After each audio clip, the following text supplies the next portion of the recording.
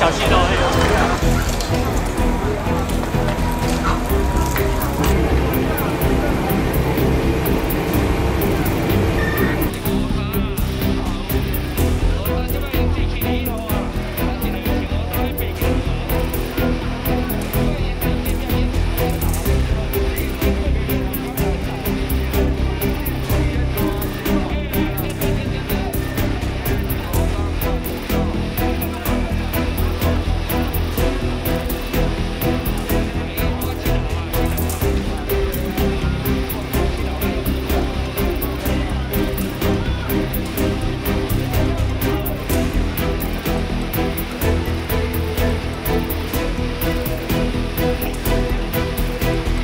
两点五十四分的时候，我们接获报案，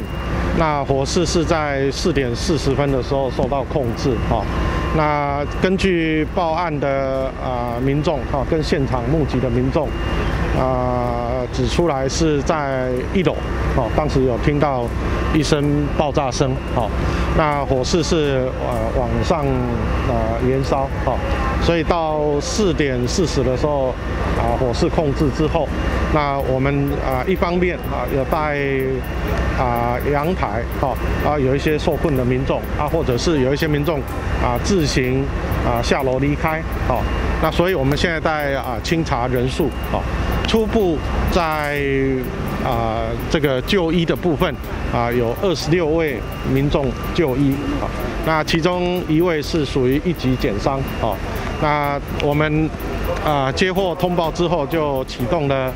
啊大量的啊伤患救护的机制啊啊，包括啊现场啊龙总啊联合还有民生医院的啊医疗团队也都在现场待命啊。那除了啊一位一级减伤之外啊，那其他二十五位啊意志清醒啊，那啊生命现象稳定啊。当然我们也。持续的在医院收治，哈，那希望说啊，在整个啊，包括因为有一些吸入性的呛伤，哦，它可能背部的水肿啊，会有一些延迟性的啊，这个呼吸道的